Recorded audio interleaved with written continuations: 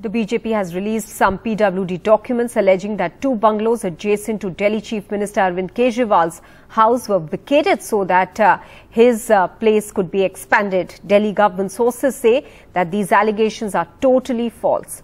My colleague Saurabh Shukla reports. BJP's social media chief Amit Malviya putting Delhi Chief Minister Arvind Kejriwal in the dock.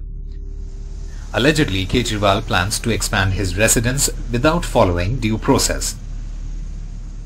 In a tweet, Malviya alleged government houses adjacent to the chief ministers are being vacated and demolished to expand the current complex. Two bungalows on 8 Flagstaff Road and 8 flats on neighbouring 45 Rajpur Road have been vacated. Documents reveal this decision was taken by the Delhi government in 2021 and soon after, notices were issued to all the occupants of flats.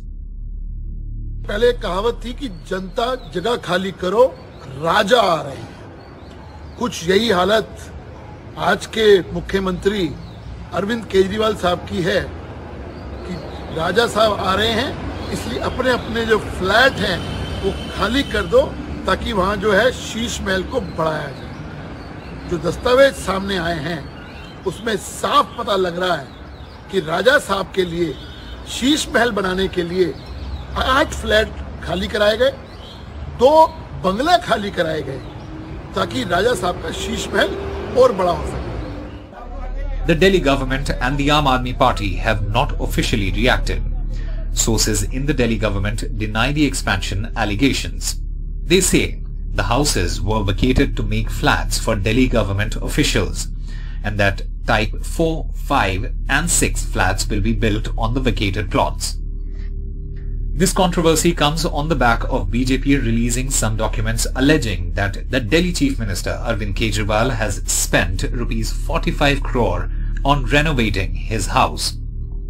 According to the sources of Delhi government, in these PWD documents there is no mention that these houses were vacated for the purpose that Arvind Kejriwal's house will be extended.